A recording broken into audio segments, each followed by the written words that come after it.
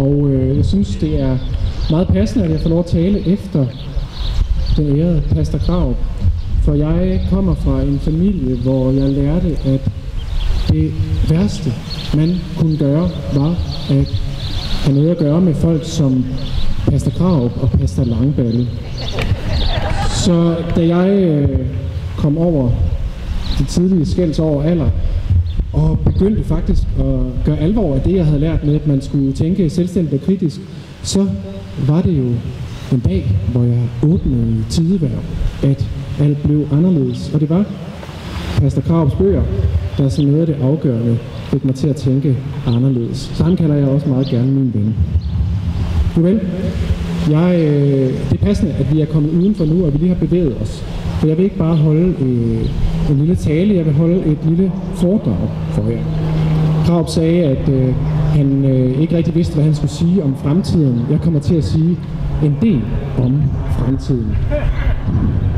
Nu vel, kan I alle sammen høre mig? Godt. Jeg begynder. Vi, der er her sammen i dag, vi er her, det ved vi alle sammen, af en øh, fælles grund. Vi er her ud fra en grundlæggende enighed. Vi har, tror jeg, det er rimeligt at antage, forskellige livsanskuelser hver især, og vi har forskellige analyser af tingens tilstand. Vi er kommet frem til vores analyser på forskellige måder, men en ting er vi helt enige om, og det er selvfølgelig derfor, vi er her i dag.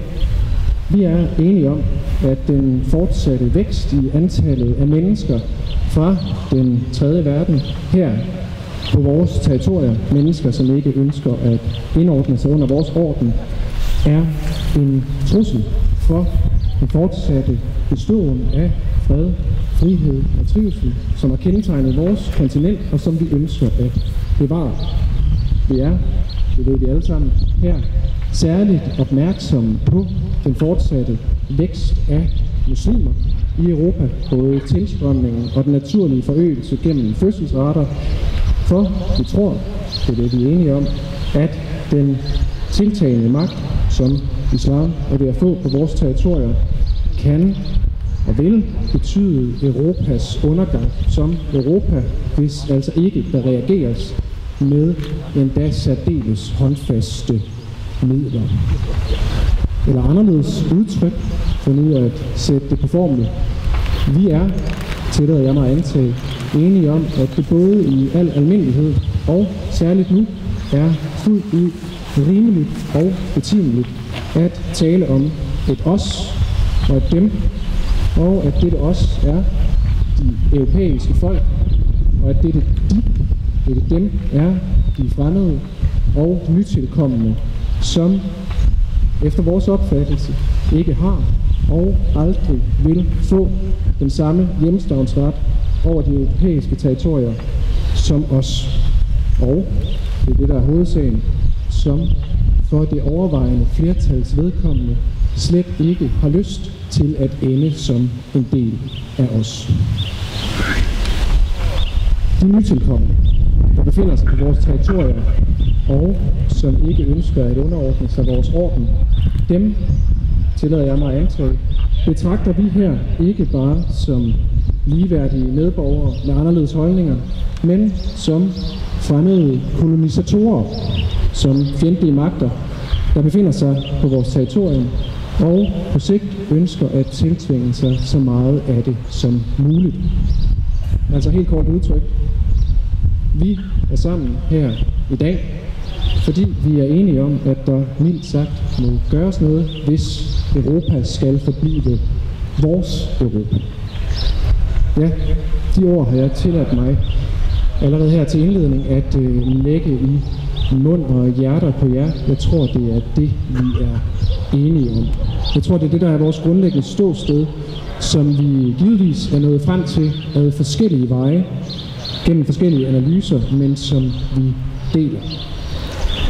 I resten af det, jeg vil sige, det er hoved, det der er hovedsagen, jeg vil sige, den skulle jeg ikke have væltet.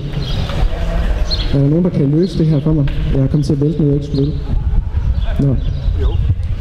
I det, jeg vil sige, der vil jeg ikke øh, bruge en masse tid og kræfter på at begrunde dette fælles ståsted, som har fået os til at mødes her i dag.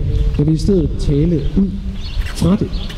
For efter min opfattelse, så går det alt for ofte sådan, at tænksomme mennesker hænger sig i snørklede historiske analyser af fortidens fejl, i stedet for at tale om det, der er hovedsagen, nemlig at komme frem til en enkel og letfattelig diagnose af tingenes tilstand, at vinde sig frem til en klar handlingsanvisning og at gennemføre en virksom mobilisering. Altså med andre ord, hovedsagen er, tror jeg, og det er det, jeg skal tale om, hovedsagen er at fremsætte og udbrede fremtidsrettede tanker og idéer, som kan vække viljen og som kan give kraft til at håbe og kæmpe. Det er i al beskedenhed det, jeg vil forsøge at gøre i det her lille foredrag. Jeg vil forsøge, altså, og som andre ord, jeg vil tale om den brydningstid og, vil jeg sige, den kamptid, som allerede er begyndt og som vil intensiveres i løbet af de kommende år. Tal om den tid, som er begyndt, og som jeg oprigtigt tror vil ende med vores sejr. Det er hovedsagen. Meningen med øh, det lille foredrag, øh, foredrag, det er at gøre tre ting. Jeg skal lige have fat i mit vand hernede. Så, trold af æske. At, at gøre tre ting. Nemlig et, at øh, skitsere, hvilket holdningsskred jeg øh, tror, der skal til, hvis sejren skal blive en mulighed. Altså det vil sige, at sige noget om den afgørende forskydning i det europæiske sind, som må finde sted, før der kan træffes den slags hårde afgørelser, som vil blive nødvendige for at bevare freden og friheden her hos os. Det er et. To, at forklare, hvordan jeg tror, dette holdningsskifte vil sætte sig igennem i fremtiden. Og tre, det tredje er det mest vidtrækkende i, hvad jeg har tænkt mig at sige, og det vil måske endda for nogle af jer også være det mest anstødelige og urovækkende i, hvad jeg har tænkt mig at sige. Jeg vil nemlig som det sidste, når vi når min, frem til min afslutning, antyde, hvordan selve det, at vi nu står sådan, som vi står i Europa, at vi står i en så ulykkelig situation, hvordan det kan vise sig at være en god ting. Altså hvordan dette, at vores folks overlevelse nu er troet, kan blive til en velsignelse, kan blive til en mulighed for, at vores Europa kan få forlænget sit liv, en mulighed for en fælles folkelig genfødsel. Jeg begynder med nummer 1 og arbejder mig frem. Som det vil. Det første, jeg nævnede, var spørgsmålet om, hvad der skal til for, at sejren bliver en mulighed. For at det ikke går, som pessimister spår. Hver gang jeg skal holde et øh, foredrag eller et kortere oplæg som nu, så forsyner jeg det altid med en overskrift. Det har jeg også gjort den her gang. Den er ikke blevet meldt ud til jer. Den er ikke blevet meldt ud andre steder end på min Facebook-væg, så jeg kan ikke forvente, at I kender den, men jeg vil gerne nævne den for jer, for den er afgørende og sigende for, hvor jeg vil hen. Det øh, oplæg, som I allerede nu lytter til, det bærer titlen Mens vi venter på virkeligheden. Forbemærkninger om overgangen til det konkrete.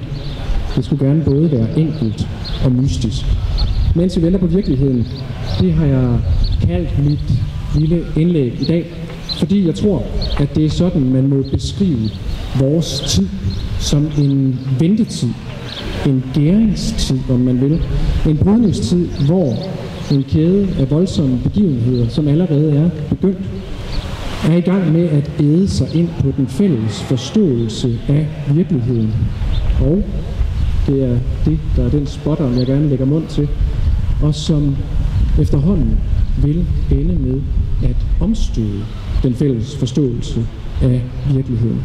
Eller for nu at sige det lidt mindre gådefuldt og meget mere præcist. Jeg tror, at vi er på vej frem mod et epokeskifte. Frem mod et opbrud i tiden og sindene, hvor det, jeg ikke vil tøve med at kalde virkeligheden selv, vil rejse sig i al sin magt og vælge og kaste de vrangforestillinger af sig, som såkaldt moderne mennesker har stablet oven på den øh, i løbet af de sidste hen ved halvanden øh, sidste øh, halve håndfuld 100 år, vil jeg sige. Moderne mennesker har stablet vrangforestillinger oven på virkeligheden. For det moderne menneske, i fin forlængelse af hvad Pastor Kraup sagde, det moderne menneske, det såkaldte moderne menneske, hylder jo tanken om det gode og evige fremskridt. Tanken om, at fortiden var slem og trist, at nutiden er bedre, og at fremtiden bliver endnu bedre. Sådan tænker såkaldt moderne mennesker. Og såkaldt moderne mennesker, de tænker ud fra et grundpræg, hvor man forestiller sig, at alle den store, vilde verdens mennesker egentlig ønsker sig det samme af livet. At alle mennesker, når alt kommer til alt, ønsker sig frihed, lighed og broderskab, eller hvad vi nu vil kalde det. At alle denne verdens mange mennesker egentlig er gode nok på bunden, for de vil jo det samme. Det er, ifølge det pæne moderne menneske, bare et spørgsmål om at sætte mennesker fri fra det, der binder, og gør, at deres evig blå personlighedsfrø endnu ikke er brudt frem i fuld blomstring. For i bund og grund, så er alle mennesker, siger det såkaldte moderne menneske, både vidunderligt forskellige og helt ens. For alle mennesker er gode. Naturligvis undtagen folk, der er uenige i denne opfattelse. Naturligvis undtagen folk som jer, der sidder her. Det er selvfølgelig det, der er den hykleriske selvmodsigelse i den moderne humanisme, i troen på det gode menneske. Det, det gode menneske, det har sin stolthed i at hylde værdier. Værdier, der opfattes som uopgivelige og som alt afgørende for selve det at være menneske. Vi kender jo alle sammen sangen, men jeg gentager den alligevel i rap følge. Medmenneskelighed, tolerance, respekt, lighed og når det bliver rigtig følsomt, så gør kærlighed. Sangen om alt det gode. Alle de gode værdier. Det særlige, og vil jeg sige, det perverse med denne moderne hyldest af værdier, det er sådan set ikke disse værdier i sig selv. De kan sådan set være gode nok. Nej, det særlige og perverse ved det moderne menneskes dans om værdierne, er, at disse værdier, de hyldes som noget abstrakt. Altså som noget, der har krav på gyldighed, helt uafhængigt af den konkrete kontekst. Altså helt uafhængigt af, om de mennesker, der siges at have ret til medmenneskelighed, tolerance, respekt, lighed og kærlighed, om de mennesker selv måtte have noget ønske om at udvise disse fine former for velvillighed over for andre mennesker. Eller anderledes udtryk.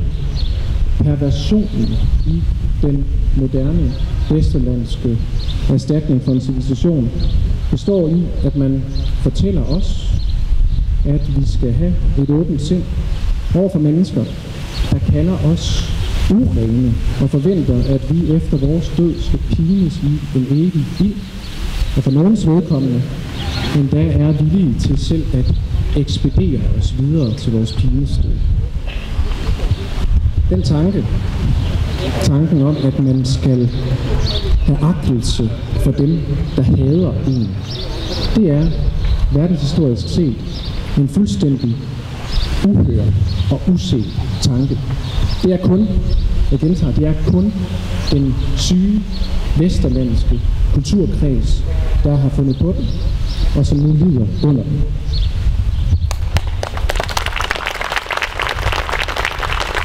Den, øh, den højere intellektuelle franske tænker Guillaume Fay, han har brugt udtrykket mental AIDS for at beskrive denne syge sindstilstand.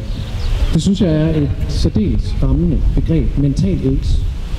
For AIDS er jo netop et aggressivt sygdomsangreb på organismen. En sygdom, hvis hovedangreb består i at svække immunforsvaret. Svække immunforsvaret, så det ikke kan nedbryde de bakterier og vira, som ellers ville have været harmløse. Man dør jo ikke af selve HIV-virusen. Nej, man dør af den ganske almindelige influenza, som rammer på det forkerte tidspunkt, eller set fra virusens synsvinkel det rigtige tidspunkt, hvor kroppens forsvar er svækket.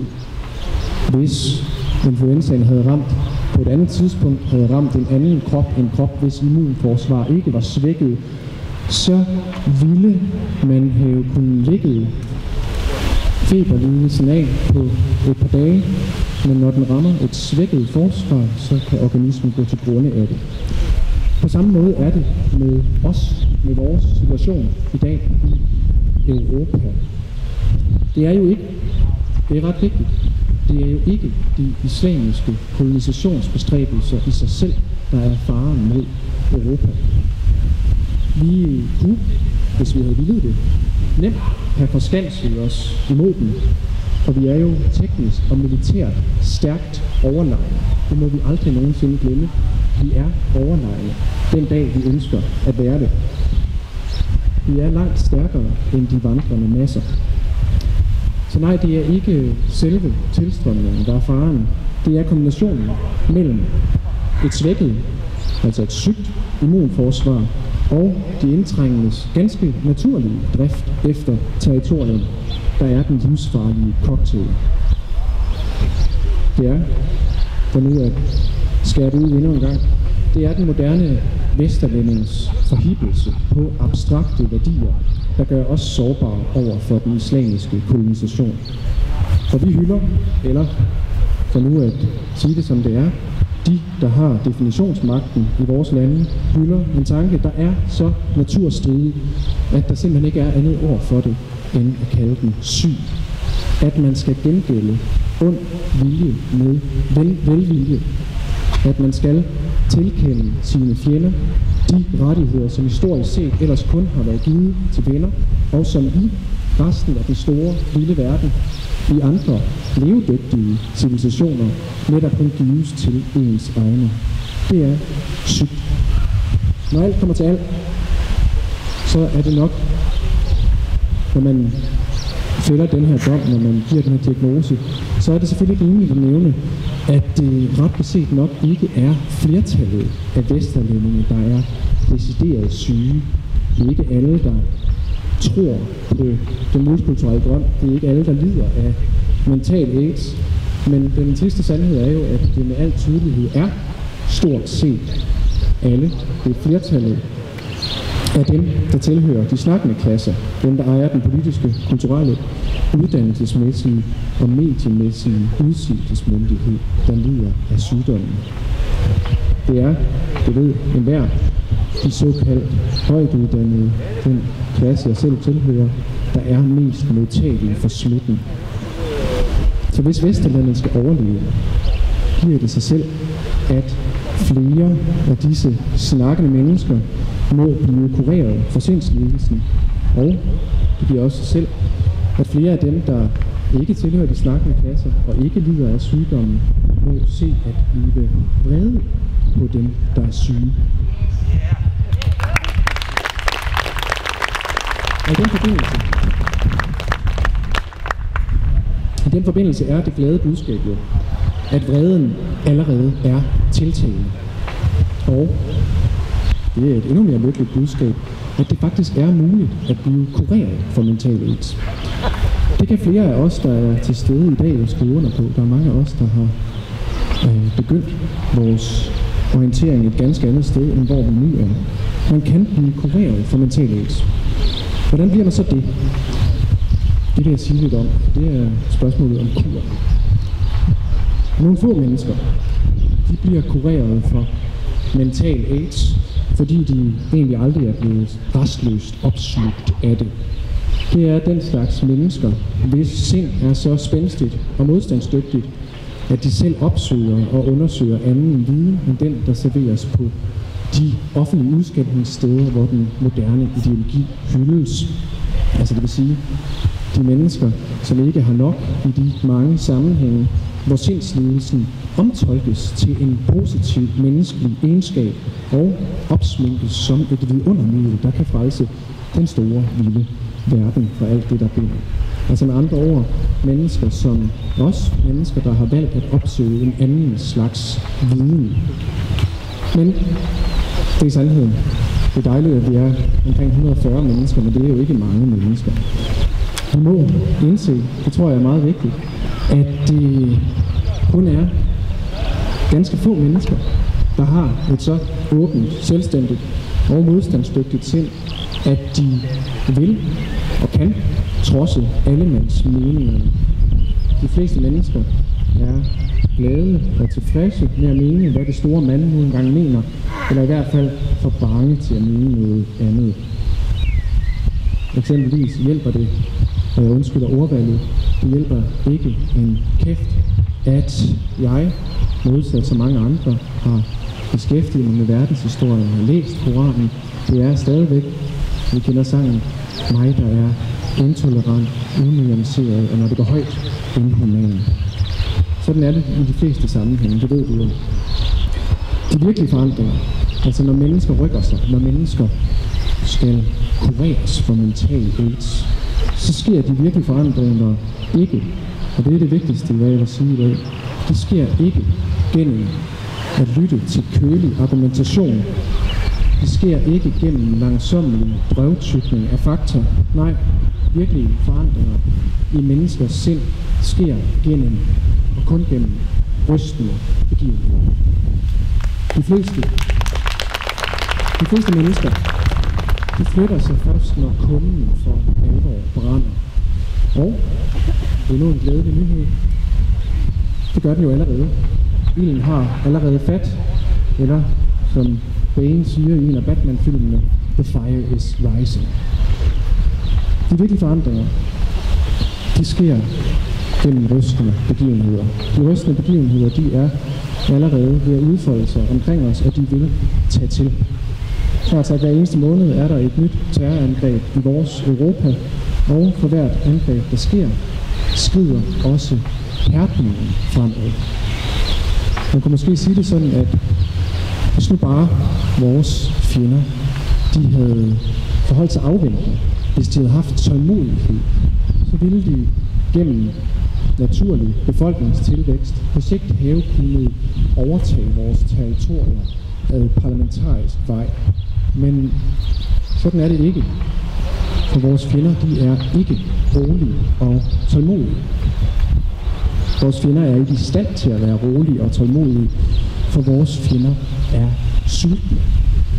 De islamiske angreb, de er, det er vigtigt, de er ikke udtryk for strategisk krigsførelse, men derimod for kultisk stammedans.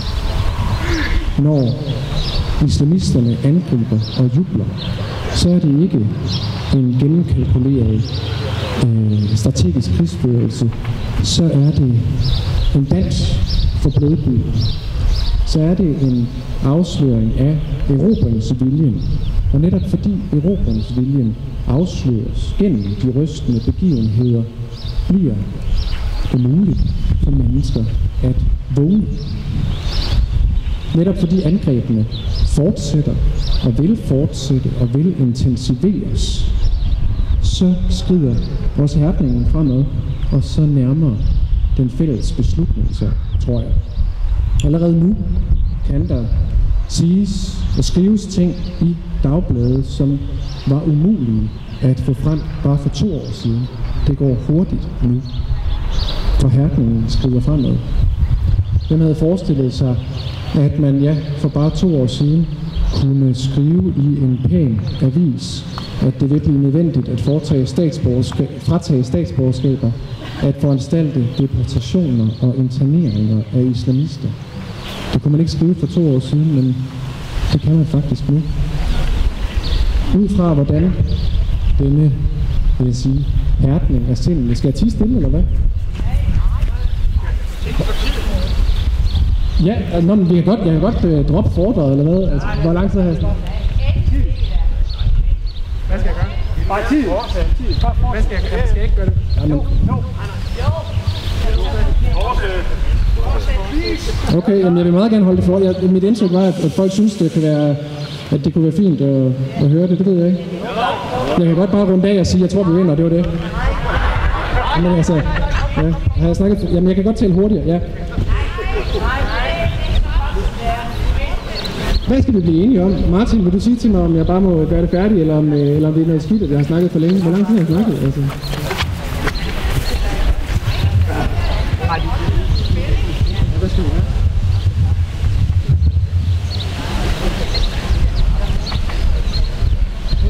Jeg er noget forundret. Øh, altså, hvis I synes, det er kedeligt, så er I... Ja, godt. Fint. Jeg er meget begejstret for øh, foredraget. Værsgo, Johan. Jamen, altså, jeg beklager, at øh, jeg havde sagt, at jeg ville tale en halv time, og jeg tror, det er rigtigt nok, at jeg kommer til at tale 40 minutter i alt, men mere, altså, mere har jeg ikke, mere regner jeg ikke med at gå over tiden. Det er et foredrag, ikke bare en lille pep talk. Ikke? Det, jeg tror, det er det eneste af de reelle, reelle foredrag i dag. Så nu pusser jeg lige mine briller og falder til ro.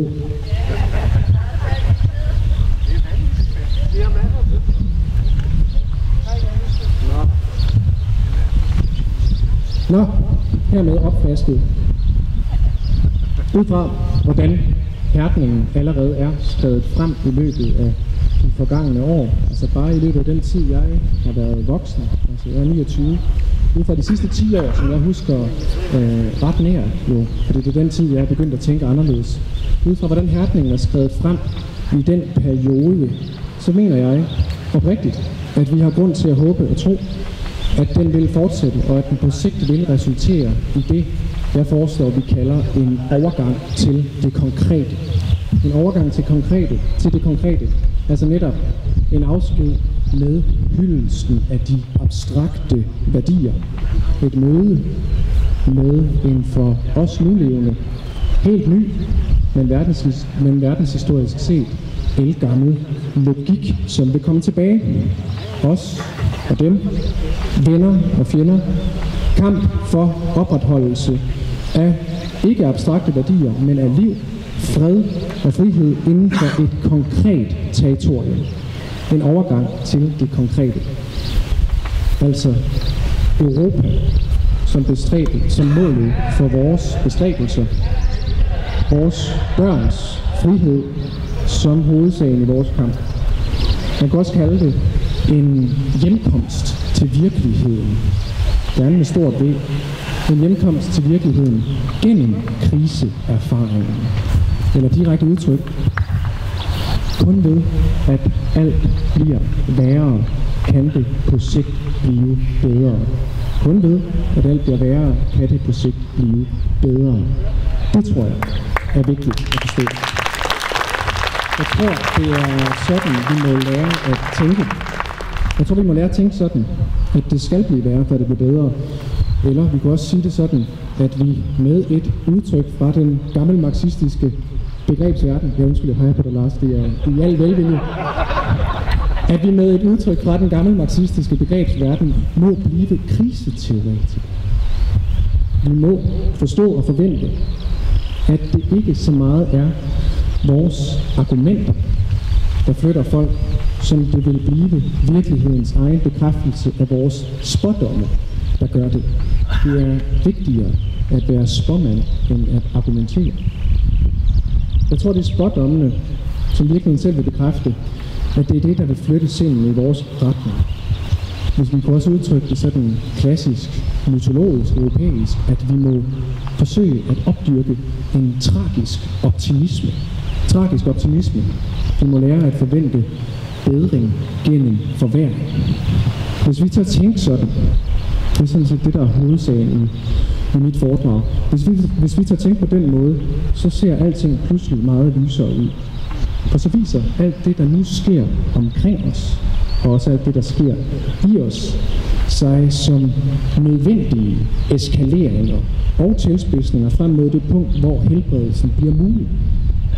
Altså overgangen til det konkrete sætter sig igennem, hvor generobringen påbegyndes. Hvordan en sådan fremtidig generobring kommer til at foregå, det er i sagens natur et spørgsmål for fremtiden. Men sikkert er det, tror jeg, at det ikke kommer til at ske gennem en gradvis og langsomlig forhandling, der fører til integration af de nytilkommende, som pludselig skulle blive mere velvilligt sindet. Men det kommer til at ske gennem inddæmning og udsondring af de utilpasningsdygtige. Jeg har allerede skrevet det i Danske Dagblade, så jeg er ikke bange for at gentage det. Jeg tror, det bliver fratagelse af statsborgerskaber fra utilpasningsdygtige med de følger, det vil have i forhold til konkrete fjender i form af tvangsudvisninger, deportationer, interneringer af de mennesker, som kalder os urene og som ønsker det værste for os. Så er det sagt. Inden det kan ske,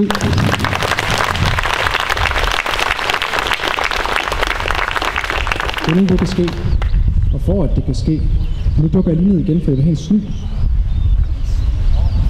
Inden det kan ske, for at det kan ske, så må virusen fordrives fra immunforsvaret. Virusen må fordrives fra immunforsvaret, for at de europæiske folk igen kan lære at blive herre i eget hus og herre over egen skæbne. Og det sker, den fordrivelse, det er det, der er pointen. Det kommer til at ske gennem virkelighedens egen chokterapi. Både ved, at der er mennesker, som rystes og begynder at skifte mening, men det tror jeg også er vigtigt, først og fremmest gennem opvæksten af og hærdningen af en ny ungdom. En ny ungdom, som vil vokse op, altså dem, der er på en 13 års alder nu, som ikke er hæmmet af dødvægten fra det 20. århundrede. Millenniumbørnene. Jeg foreslår, at vi kalder dem generation terror. Altså den generation, der har levet hele sit liv i slipstrømmen på 11. september, og som nu er ved at blive, til dem, der er halvdelen af min alder, en halv generation under mig, som nu er ved at blive voksne i en verden, der allerede nu er ved at vise sig at være helt, helt, helt anderledes, end deres opdragere havde fortalt dem, at den ville være. Jeg tror, at det er disse unge, friske sind, som nu vokser op i det, der skulle have været en verden, men som begynder at ligne et ruinlandskab. Det er dem, som chokterapien kan have den hurtigste og gavnligste indvirkning på. For selvom forældregenerationen er smittet, så fødes der, det er naturens lov, så kan der stadig fødes sunde og naturlige børn. Der kan stadig fødes børn, som bliver unge og voksne, og som under indtryk af virkelighedens egen indtegning meget hurtigt faktisk kan komme til at tænke helt, helt anderledes, end man havde lært dem at gøre. Instinkter, de kan ikke holdes nede for evigt. Heller ikke af en så vandartet kultur som vores. Jeg er selv en, en overløber, der hvis, øh, hvis det havde været sandt, at mennesket kun var et produkt af kultur og socialisering, så ville det have været umuligt, at jeg kunne være endt med at tænke, som jeg gør. Men det er heldigvis ikke sandt. Mennesket er ikke kun socialisering og kultur. Mennesket er andet og mere, og dybe anlæg, de kan vågne efter langvarig slummer, særligt i unge sind. Så jeg mener, at vi har vældig god grund til at håbe. Jeg lovede, at jeg, og nu nærmer jeg mig en afslutning, at jeg til sidst ville sige noget anstødigt. Altså det mener jeg jo ikke selv, at jeg har gjort endnu.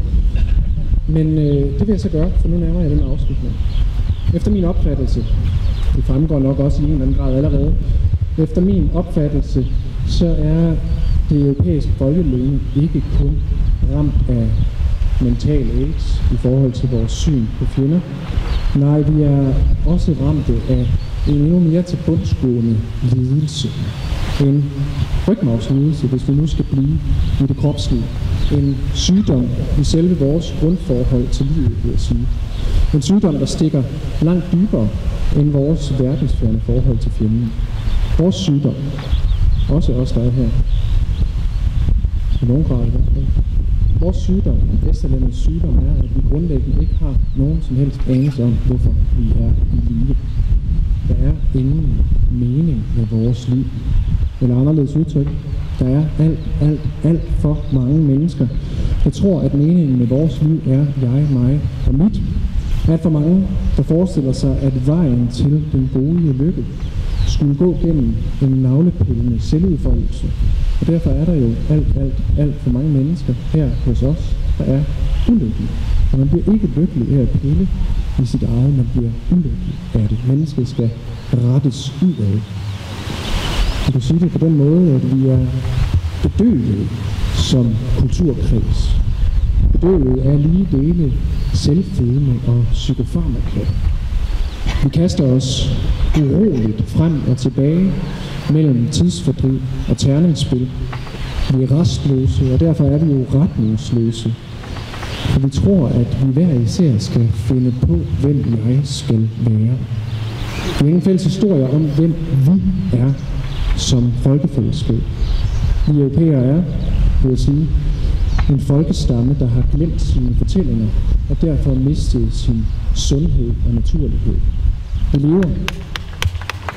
Det tillader jeg Vi lever i mange forskellige henseender. Ikke bare det her spørgsmål, der handler om den islamiske kolonisation. Vi lever på mange forskellige måder, uden forståelse for livets egen orden. Vi har glemt vores fortid, og det er jo også derfor, at vi har mistet troen på, at vi selv kan være herre over vores fremtid.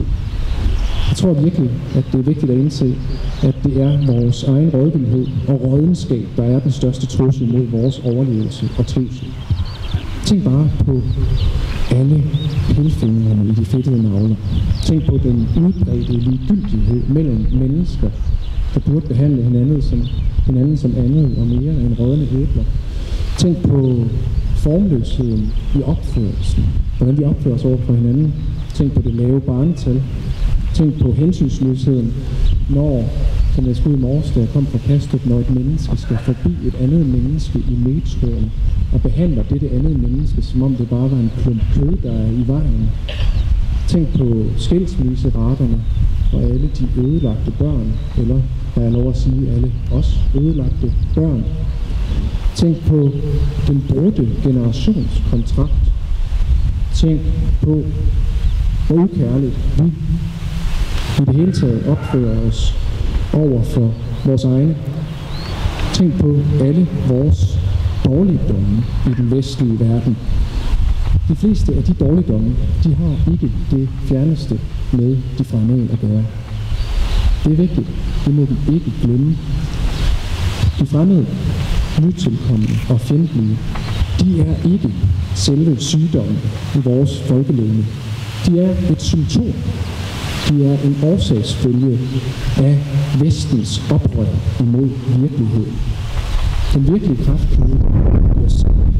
Den er helt af sig selv i gang med at fortære os, og den kunne have fortæret os på en anden måde, hvis ikke kolonisationen var blevet påbegyndt. Derfor, og nu kommer deres død. derfor er det glædeligt, at fjenden har meldt sin ankomst.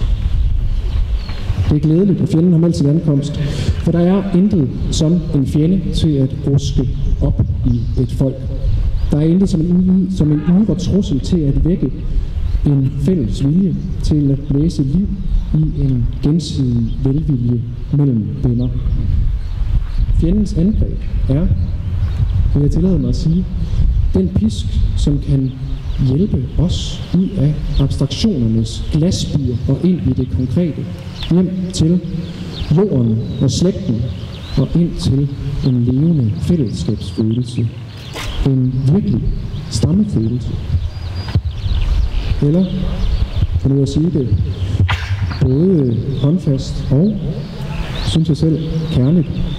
Fjendens længsel efter vores blod kan blive vores mulighed for igen at simpelthen lære at holde af hinanden. Det tror jeg er det, der er det allervigtigste i vores tid. Nu vil jeg så slutte med en fortælling fra den danske savnhistorie, for der tror jeg altid, det er godt at slutte.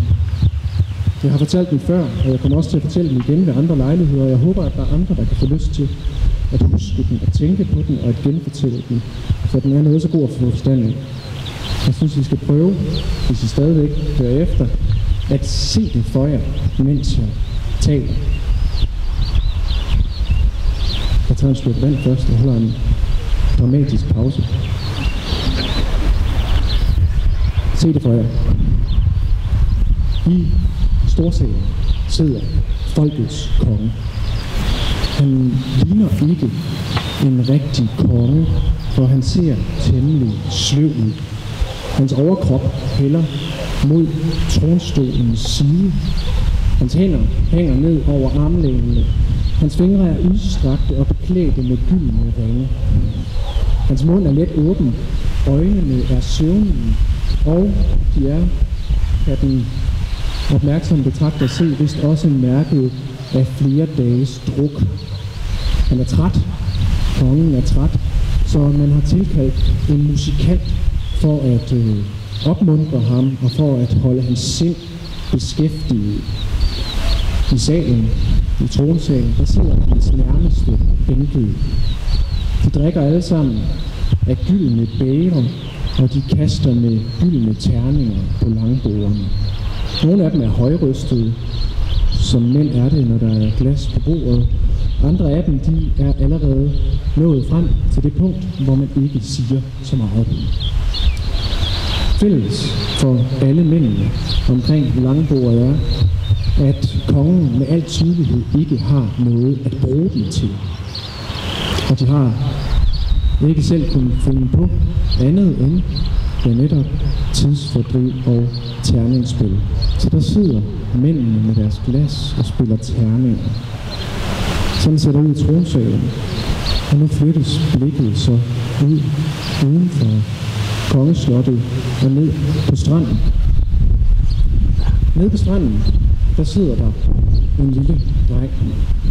Han er nok omkring de 10 år. Han har forstået væsentligt mere end de fleste, så han er naturligt nok temmelig trist. Han sidder der ved vandet, og han kigger ud over det hav, der omkranser riget. Han sidder der, han kigger. Solen er dækket af skyer, så vandet det er gråt den dag, og bølgeslagene, som ellers ofte har været så mægtige, de er kun dogne skvulp. Han tænker på kongesalen. Han tænker på, at Ja vist kan det være godt med vin og smil i kongesale, men der skulle jo være et formål med det. Festen skulle jo have et formål. Det plejede den at have, men nu er alle så trætte inde i salen. Alt er blevet så ligegyldigt. Fredstiden har afledt ligegyldighed. Sådan sidder drengen i sine egne tanker og tænker over gråværet, både derude og derinde. Og hvad sker der så? Ja, så sker der naturligvis noget nyt og afgørende. Drengen får øje på noget, han ikke har set før. Han ser skibe komme sejlende ude i horisonten.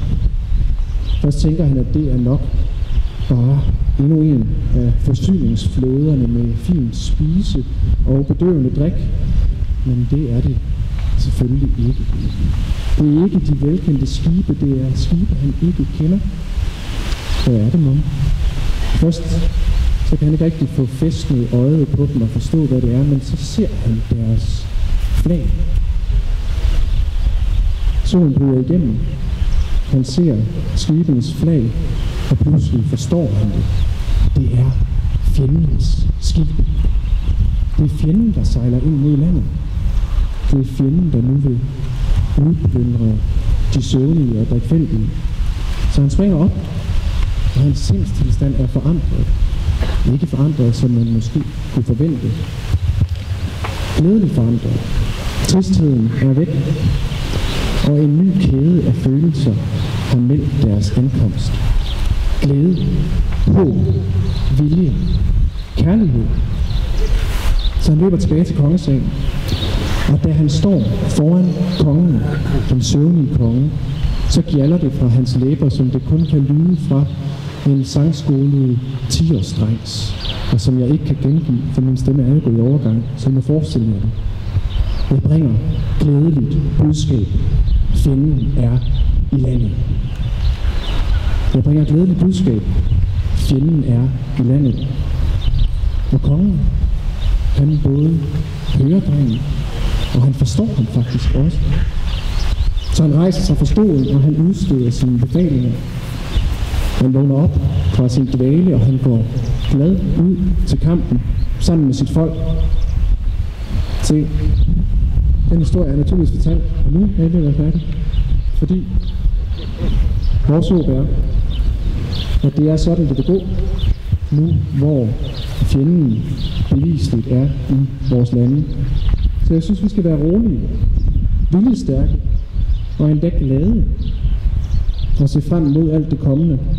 For i alt det kommende er der kun to muligheder.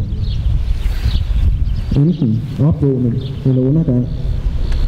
Og jeg vil sige, at det er fuldt fortjent, at vi nu igen får kniven for struben. Hvis Europa falder, så er det kun livslovens egen retfærdighed, der sker fyldes. Et livstræt folk har altid fortjent undergang. Og det er det glædelige. Et undergangstroet folk kan meget hurtigt vise sig at blive til et vågnende folk. For vi ved det jo. Fjeld kan sprænges, og stanses kan en el, men aldrig kan et folk forgå, som ikke vil det selv. Og hvad vi vil, det vil jo så i sagens natur vise sig. Undskylder, at jeg havde skrevet efter, at jeg havde talt hurtigere, end jeg endte med at gøre. Jeg håber ikke, at jeg har fordærvet deres tid. Tak for jeres tid.